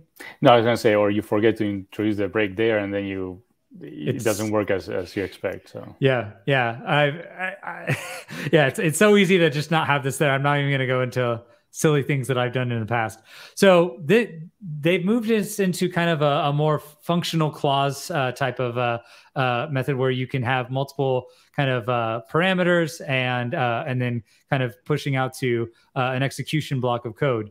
And so this becomes to me much more legible, right? You don't have the cases in between. You're not relying on the breaks. Your your break is essentially the semicolon, and uh, this not only uh, is is doing this, but there's also uh, I forgot to add this in here, but this, this is teeing us up for uh, a kind of uh, um, a way in which you can um, do the the uh, what's it called the pattern matching. So we're doing pat we're going to talk about pattern matching here, but you'll also be able to do pattern matching uh, if you're doing this by type. So switches can also have types in here uh, where you would say, hey, if it's the type of if, if day is a type of something, then um, you would have to ultimately do a similar thing like this where you have to uh, cast uh, this generic day object into the specific type. Whereas now, uh, you know, you you would uh, you you like essentially uh, with the with the updated switch, you would no longer you can actually do this uh, uh, similar method that we're able to do with this instance of piece down here. Why don't I just show you the instance of one first, and then I'll tell you how that applies to switch. So ma- matching pattern matching for instance of allows us to take something like this where you have to like do this silly like cast object. Okay, this this generic object is is an instance of string. Okay, so in this one thing, I've already validated that it's an instance of a string, but then in a whole separate line, I actually have to cast it to a string. So why not make that all one operation? And so that's effectively what pattern matching is is doing. It's giving us the ability to um, to immediately cast uh, a, a local variable within that code block uh, to to uh, to uh, cast it to this particular type. Um, you could do the same thing with switches, right? And that, this is what I was talk, trying to mention before. You have a particular type that you're trying to see if it's the case of, and you essentially are able to do uh, pattern matching. I don't know if that's that applies to like if there's multiple cases. I feel like you'd have to have like only one type per case in order to make that work. But but that's another kind of cool thing that's that's coming up that I just didn't put put out here. So so Martin, uh, Martin with uh, with those case statements, correct me if I'm wrong, but from glancing at the code now and then, um, we have a whole bunch of those case statements when it comes to the connectors where the type mapping has to go, right? Like we have to map whatever the hell those underlying types are in the system, and then we map them to the Trino types. Those are all driven off case statements, right? Uh, many of those are. Some of those are more more programmatic, and then like you may have a list of or a map of mappings or something like that. Yeah. Hmm. Uh, no, but this is this is really important for uh, anything has to do with the dealing with the AST, with the planner, the optimizer. We we use switches and and, and cases lot, all yeah. over the place. So yeah, yeah. so, so, it's going to so clean it, a lot. It will allow us to clean up things quite a bit then. Yeah, yeah. yeah. Have we ha, ha, anything on top of your head that like any issues that we that have been or bugs that were introduced due to a a bad switch statement or something like that? No, there's uh, all over the place. Like uh, we fix them, but uh, yeah, it's very easy to miss a, um, a break, or or sometimes you don't consider the default case, or yeah. you know, yeah. Very cool. Okay, so uh, those are exciting. And then one that I'm super pumped about is actual helpful null pointer exceptions. Uh, so it seems like there's this effort to basically give more meaningful messages, more meaningful stack traces and kind of context around what hap- what what led up to a particular null pointer exception. And I one thing one interesting thing for me, and I, again maybe I've just been lucky, but I haven't noticed there's a lot of null pointer exceptions in Trino in general. Like I feel like we do a a fair job at, at, at avoiding them. Uh, I'm not saying it never happens, and I'm sure it does, but it, it's like I, I've noticed that comparing to other systems like obviously Hive, it, Hive is like every every two like two operations you do, you I feel like I'm getting a no no pointer exception. I'm I'm googling why that happened in the particular context that I was running it in, and then I find out that oh, it's actually this like weird hack you have to do with Hive. So it's like it's Trino's nothing like that, but but still like you know when you do get a no pointer exception, having that context, especially for systems that do have these more frequently, it, it's so much nicer to have anything that the the system can just provide to you to kind of give you some hints yeah, there's definitely an art to error message yeah. generation, and um, I'm I'm sure they were having a lot of discussions when they got to what they have now. Oh yeah, yeah. So I'm excited. I mean, it's it's clearly it wasn't easy. If otherwise it would have been done a long time ago. But it's like, yeah, it's it's exciting that these these are finally coming in. So uh, the final segment, uh, you know, uh, I, I'm I'm wanting to talk about, you know, what does this mean? What does this all mean for Trino? So we've kind of talked about Java 17, uh, which has been the meat meat and potatoes of the show. Um, but uh, I want to, you know, do a quick thing. And Manfred, I think this could be kind of like your part of the show. Uh, you know, I, have outlined a couple of the reasons why people typically don't want to, you know, are, are hesitant to to do an upgrade and I personally feel like there's going to be less hesitation because again, it, it, was more recently that we've done this than you know as the, the the gap that was between like Java, for instance, you know Java seven or sorry Java eight to um, Java eleven, and so um, so the things that people typically come up with is like I don't want to update all the clients in the code that calls Trino. That's so tedious. So what would you really say to that? well, it doesn't really like so that like that doesn't affect you because in fact the Trino CLI and the JDBC driver, that stuff, as far as I know, still even supports Java 8. Yep. Um, and what we're talking about here is the deployment on the servers, right? So it really only deploy, depends on the server. The interfaces like the REST API that the clients interact with is still completely compatible. There's nothing changing there. So um, it really is only about what you run on the server. And on the server, there's kind of like the major that there's two two major ways of doing it. Kubernetes, well, who cares what's in your container as long as it works, yeah. right? So yeah. you don't really have to worry about what Java version is in there.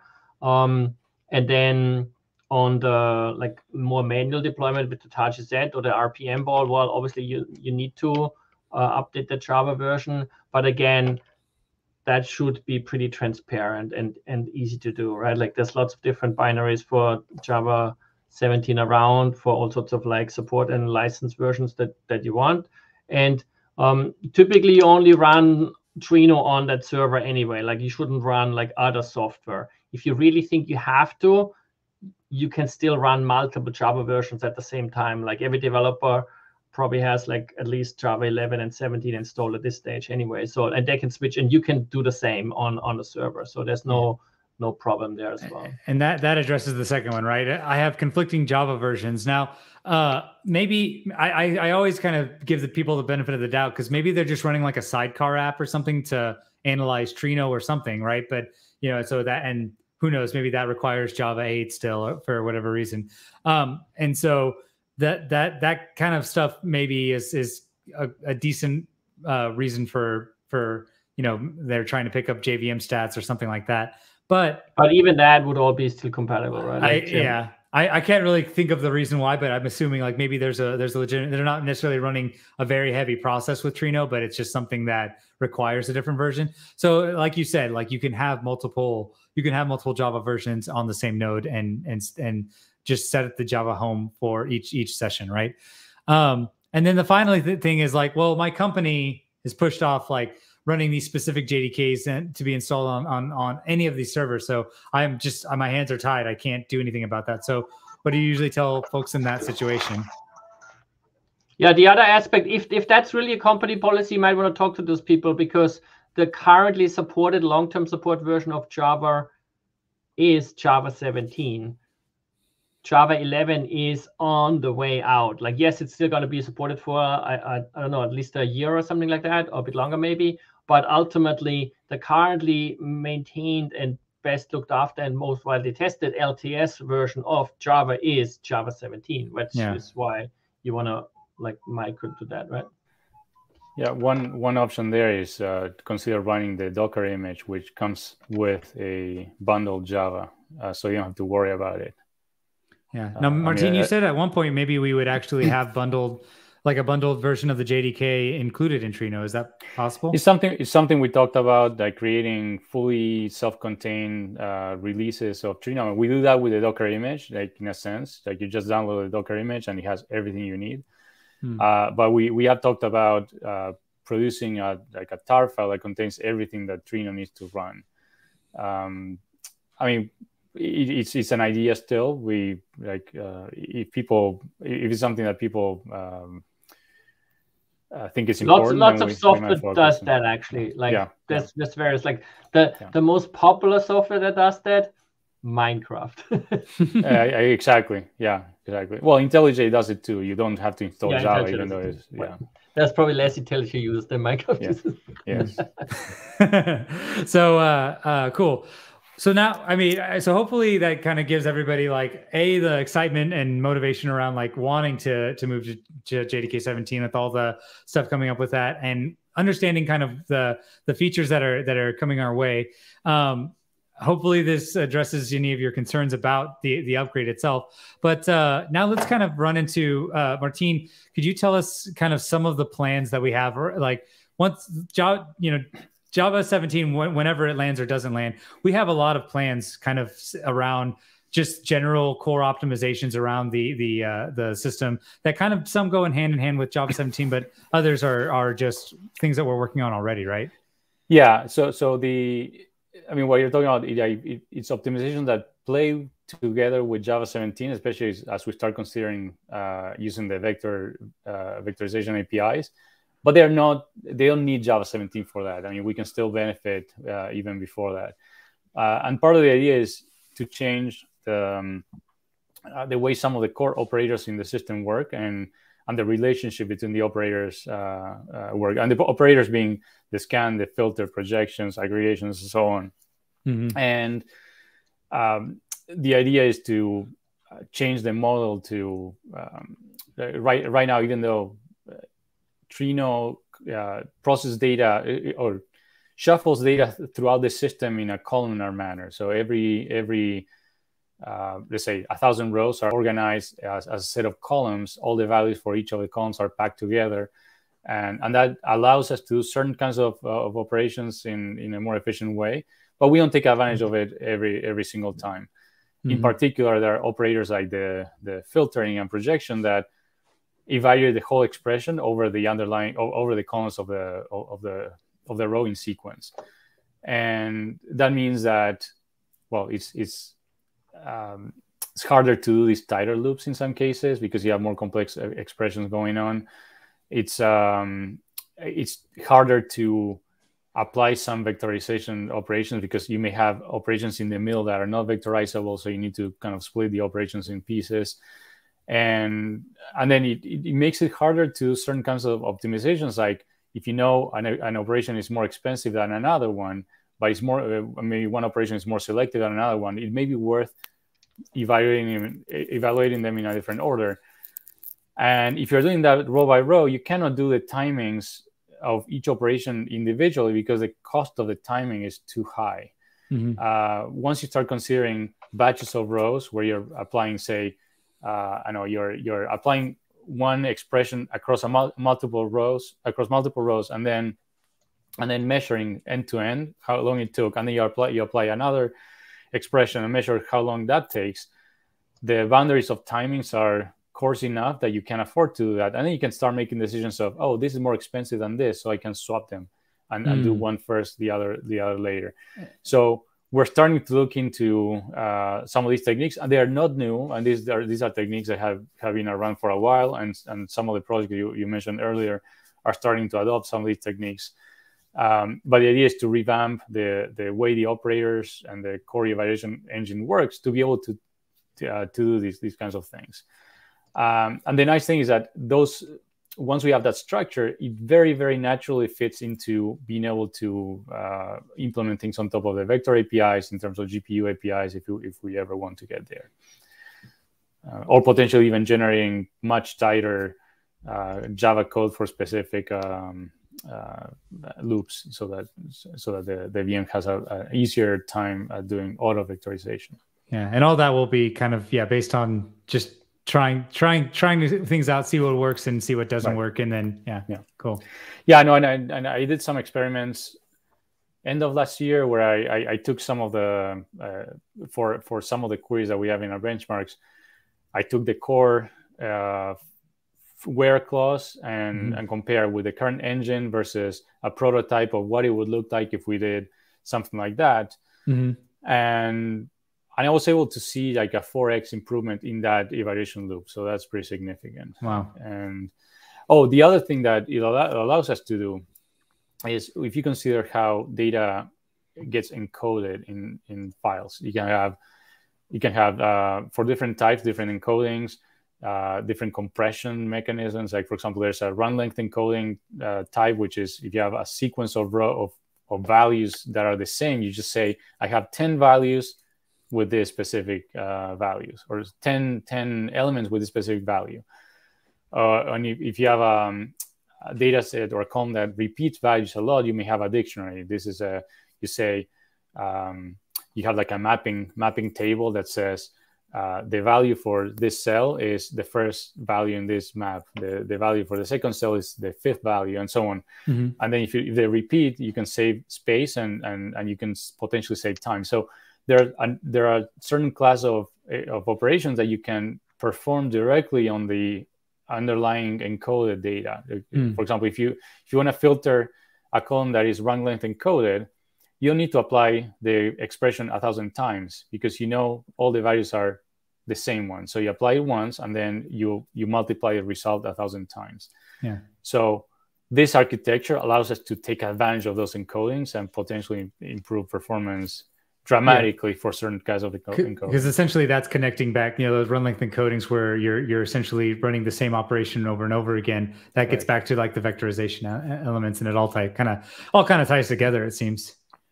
Well, it, it, it, this it actually ties ties closer to the uh, your your analogy of uh, you could do something uh, smarter, or you could, I, I mean, put hard work and do it faster uh, like in, in, brute force in this case it's about something doing something smarter yeah you can yeah. uh, uh you, you can process a thousand values in a vector very fast using vectorization APIs. But if you can process one value instead of a thousand, then you're going to save a lot of time. Yeah, yeah, yeah, totally. Yeah, it's like it's like those. Uh, uh, you, you, see some of the certain movies or something like that where they just say like, "All right, go go take care of this," and or go go get me this thing over there, and they like they go run like as as quick as they can in that direction without even thinking. and then there's like the person that like takes the moment to think, and there's like this really easy way to to solve the task or something like that. So right. Uh, right. I had a particularly movie in mind, and I was hoping it was going to come to me while I was saying that, but I can't remember what movie I was thinking of. um, anyways, so make that movie. Yeah, let's make it now. We're we're, we're making it with Trino. Um, so uh, so basically uh, um, i wanted to kind of take a moment to to talk about you know we we've we've uh, worked on like kind of making these uh, uh, kind of huddled together projects that that like you know particularly with tar- tardigrade we did before centralizing the efforts for you know how do we uh, have fault tolerance and, and failure recovery uh, and and pull all these together. So we we pulled you know a couple people together that roughly fell under this this uh, project right we're wanting to do basically the same thing with project uh, this new project we're going to announce called like project hummingbird. Um, and so uh, we we uh, basically this is going to encompass all the things that martin was just explaining about you know how we're revamping trino. Uh, it's uh, essentially we we call it uh, hummingbird because they're basically these light fast only birds that are um, with the ability to fly in any direction uh, so kind of thinking about that adaptive query evaluation part, uh, you know, that the hummingbird can basically just like there's a predator, if there's food that it's needed to go after, you know, anything that as it's running or doing its day-to-day things, it's able to adapt and kind of move in any direction and and be super uh, fast about uh, how it changes, right? So Project Hummingbird is going to be taking Trino into that that next level of uh, of, of, performance and uh, and smart performance. I, I, would say, you know, kind of smart adaptive performance. So um, so we're super excited to kind of announce this, and uh, um, we'll be telling you more about it as these things come down. Um, there's still, you know, I think I don't know, we're we're we're still kind of in the process of pulling together all of the exact uh, you know tickets or kind of like issues that people have uh, that that kind of go around this but uh, i don't know is it, are we kind of planning on this pretty much the second half of the year starting to see more from pro- this project coming up martin? Yeah i mean we started already some of the the ideas prototyping exploration and and we're going to start getting more serious uh, i guess in the next few months and towards the second half yeah. Cool and then the final notes uh, with all this is, you know, we we covered this very well, but vectorization, as we've kind of learned through all this, is it's not a silver bullet, right? It definitely helps. It's definitely something that we on the Trino, uh, you know, in the Trino project are going to be really like looking into. But it is not like the only uh, the the only uh, um, kind of uh, vector that we're oh, I, I, I don't know why vector just came to mind it's not the only dimension that we're uh, that we're looking into uh, there's a lot of these kind of you know uh, things outside of just brute force and brute speed uh, that that uh, we're we're trying to optimize there. So, uh, so with that, uh, anything else you'd want to cover, uh, Manfred or Martin, before we hop on to the pull request? Oh, good. Good. All right. To the pull request of the episode.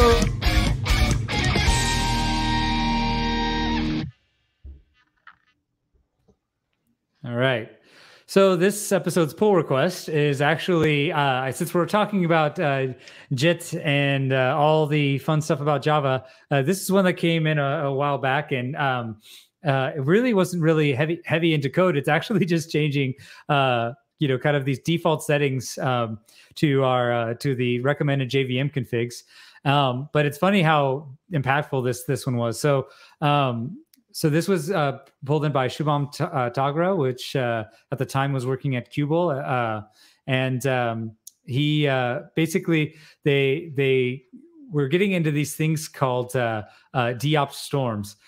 so from my understanding, I, am not a, a, super expert in terms of understanding how, how, you run into these things, but I read up a little bit on, on what was causing this. And so um, the JIT compiler basically is trying to in during runtime de-optimize this code and uh, essentially it gets into a loop.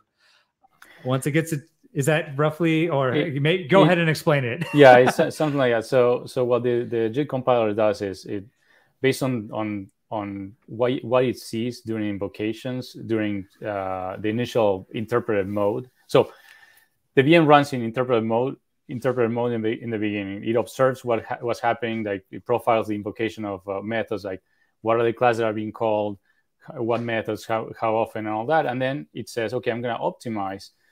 It applies all its optimizations and makes a bunch of assumptions about what it's seeing.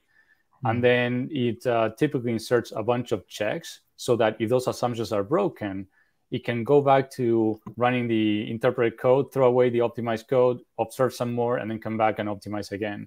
Hmm. Um, so there seemed to be some. Uh, this is something that we haven't been able to fully track down. It seems like a bug in the VM where uh, and uh, you call it the optimization storm because what happens is the optimizer, the JIT compiler says, okay, I'm going to generate optimized code then it runs for a little bit. It, it, one of the assumptions is broken. Like for example, a new type shows up, uh, a new target type. So it needs to uh, generate code for that uh, invocation. So he says, okay, I'm going to go back to the interpreter. Then runs a bit in, in the interpreter. It, it optimizes again, compiles new native code, runs for a bit. It sees another uh, assumption being broken and, and kind of cycles back and forth. Yeah. So um, and there's a so first of all the question is why is that happening? Why is it not compiling a more general general form of the code that uh, is is um, resilient to those assumptions being broken, or basically make general more general assumptions about it. Yeah. So that that would seem to be the bug. Uh, it has a the, the VM has a, a it's like a fail safe where I mean th- this process of recompiling is expensive. Like if you have to generate bytecode, optimize, if you are doing that on every single single invocation or every, every few invocations, you're gonna waste all the time in the JIT compiler. Yeah. So it has a there's a um, there's a there's a, um, a threshold that uh, that uh, is configurable a configurable threshold in the VM where it says if I detect that I'm doing this for this method more than a certain number of times, I'm gonna give up and I'm gonna disable the JIT compiler. So at mm-hmm. that point, everything else is interpreted, mm-hmm. which is is terrible because the interpreter is orders of magnitude slower than the JIT, JIT compiled code. Yeah. So uh, what these options do is they bump the thresholds. They say they say well only only disable the JIT compiler if you if you do this kind of back and forth more than than whatever ten thousand times, mm. which for the patterns that we're seeing in Trino don't happen uh, in, in practice. So it's not very clear what exactly causes it, uh, and we haven't tracked tracked it down. I, ideally, we should figure out what code is causing that issue, and then yeah. rewrite that code so that doesn't happen. Um, so anyway, that's just of it. So that's the okay. option, and still like those changes, they they will still apply with Java 17, or will we have to take them off? Or uh, we need to evaluate. Uh, the bug may have been fixed in Java 17. We don't know. So yeah. So so it sounds like my initial assumptions that the actual deopt storm itself was causing the, the loss. You're actually saying that it's when when we pop out of G- JIT compiler and go run in full interpreted mode that yeah. that's when you start to see the. So what what most people uh, claim is that it's this random yeah. slowness. All of a sudden, just one node or two nodes are just super slow, and so yeah, uh, yeah, yeah. We so this is an issue we run into at Facebook, and and I, actually this is the solution we end up with. Um, and the the way I mean, what happens is you have a let's say you have a cluster of 100 nodes, and then suddenly your queries start piling up, and then when you go and look, all the queries are waiting on one node to complete. Yeah. Uh, and then when you go into that node and and run the uh, you can run perf on yeah. Linux perf on yep. the Java process to see where it's spending the time. You see, like ninety percent of the time is spent in the Java interpreter, hmm. and and that's the, the symptom. Got it. Got it. Okay. So, well, and luckily these are already like the defaults, right? So if you are on an older a version older than when this was uh, added, uh, which was the case for like Shopify and this in one of their blogs that they they talk about this a little bit. Um, they you know they they just realized like they just needed to add this to the JVM and it immediately fixed the issue. Um, so, uh, so yeah, so it's no, definitely so. So, you know, one, one comment not there. fix are, the issue, but well, the, these are not the defaults in the JVM. So, if you are deploying Trino with your custom configs, you have to add your uh, those values. Yeah. For I the mean, Docker, I, for the Docker image, we do add it, but uh, yeah. if you are deploying the tarball, then you have to add those. Yeah, I meant to say like you know what we have here in terms of like if you're going following our our documentation, right. we have that in in the documentation. But yeah, if you if you don't include uh, these these in your documentation, then uh, uh, then it doesn't. And again, it doesn't. I shouldn't say it fixes it, but it uh, it is a workaround until we eventually find the fix. Cool. All right. So uh, any any last words on that, uh, Martin, Manfred? No, I think we covered it. All right. Let's head it up to the demo of the episode.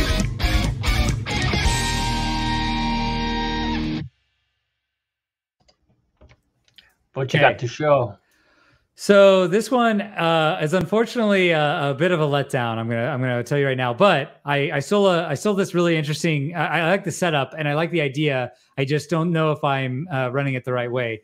Uh, it's not very straightforward to get some of the SIMD stuff working, but it is really fun to play around with with uh, SIMD stuff in general. And I just unfortunately did not have the time to set up set up my own, but I did get to running into um, uh, Gunnar. Uh, Gunnar joined us, I think, on episode 25, uh, talking about Debezium. He's a he's a um, engineer over at uh, Red Hat, and uh, um, he basically uh, was was uh, looking into some of these uh, these vector API when it was still very experimental in Java 16. And so, um, so I was hoping uh, he he kind of goes through vectorizing FizzBuzz. He talks a little bit about uh, the as the the uh, code that he has set up here, which I know I made a copy of it. Here, let me just go. Uh, oh, hold on. Let me just go into SIMD. FizzBuzz. There we go. Um, there we go. Uh, I'll have to add a link in the show notes to make sure it's easier to find. But um, so basically, he has this little repo where he he he goes in and creates a, a, a Fizzbee, a uh, you know, serial Fizzbuzz, and then he also creates uh, right here serial Fizzbuzz, um, and then he creates uh, SIMD Fizzbuzz, which is essentially uh, running running the uh, the using the vector API code. Uh, if you wanted to essentially jump into that, so. Uh, going through his results uh, in his blog, he he show he showcases how he set everything up and uh, running each of these. And at the end of the blog, where's the final his final uh, outcome? His final outcome show, showcases uh, um, all of these, and it actually shows the SIMD code uh, running pretty much like way like generally worse. Now sometimes I think a couple times it, it, did run a little bit better, but overall it was like worse than the uh, than the scalar scalar uh, uh, code uh, was running. And so he followed up with uh, with somebody in where is it? Uh, here we go. Update. He followed up with uh, somebody from the uh, Panama dev te- team and basically said that there was some issue with like the expe- expectations on on the hardware he was running.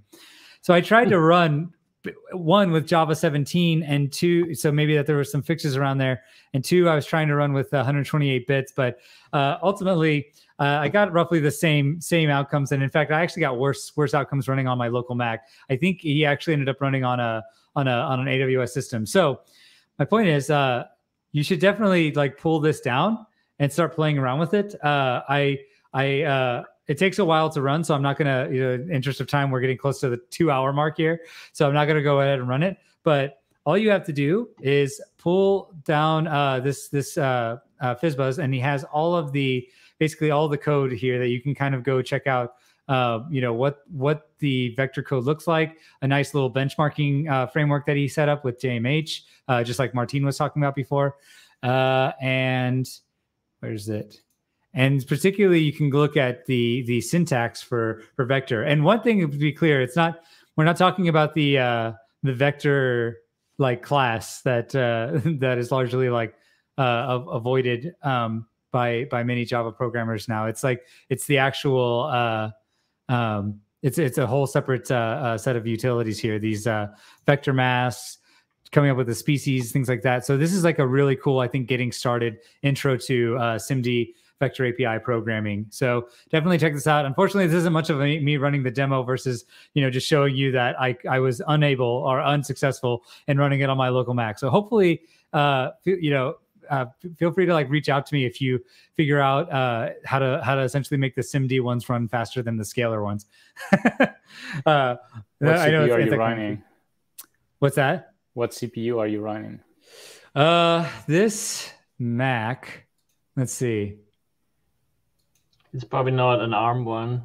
It's But, it's like, an it depends. Intel. It's an Intel, but I uh, can't remember the details. Eight core and uh, Intel Core i9. Hmm.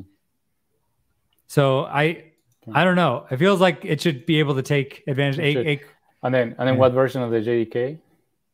uh, JDK here. Let me uh, version. So JDK seventeen point zero point three in Zulu. Okay, yeah, Okay. So I don't know. I I don't know why I, I, I had to toy around with it a little bit more. Unfortunately, I, I was hoping that I would just run this and then see, you know, showcase parallelization. Look, it works, but uh, that was not the case. So uh, I, I I will leave this demo to uh, to be a more community driven demo. Exploration. exploration that we could all do together. Uh, so, but uh, but definitely something that's fun to pull down and at least look at the syntax if you're uh, if you're uh, having fun on the Java side of the house. So cool. Um, any final words uh, either of you wanted to say in terms of like Java, um, our upcoming plans, Project Hummingbird? I think it's a lot. We covered a lot in this episode. I, I think just a general thing be ready, like it's coming. And if you can help us testing it already, that would be awesome. Any insight that you gain would be good. Yeah, especially like we want to um, avoid surprises. Like we don't want to like uh, start using Java 17 and then realize there's a blind spot that we missed and it's causing problems for people, and then we have Yeah. to rush to fix things. Yep. So the more exposure we get, the more coverage we get with people actually trying Trino 17, the better off the transition will be. We did that with Java 8 to Java 11, and it was pretty successful. So let's Yeah. try to do the same thing here. Yeah. And if you're curious about it, you know, reach out to us, uh, reach out to me and I can get you uh, in contact with uh, with the right group of people. Cool. Awesome. All right. Well, see you guys in uh, and gals in four ish weeks. Yeah. Music for the show is from the Mega Man 6 gameplay album by Krzysztof Słowikowski. Don't forget to give us a star on the Trino repository at github.com forward slash TrinoDB forward slash Trino. And for more information on future shows and to find show notes, check out trino.io forward slash broadcast.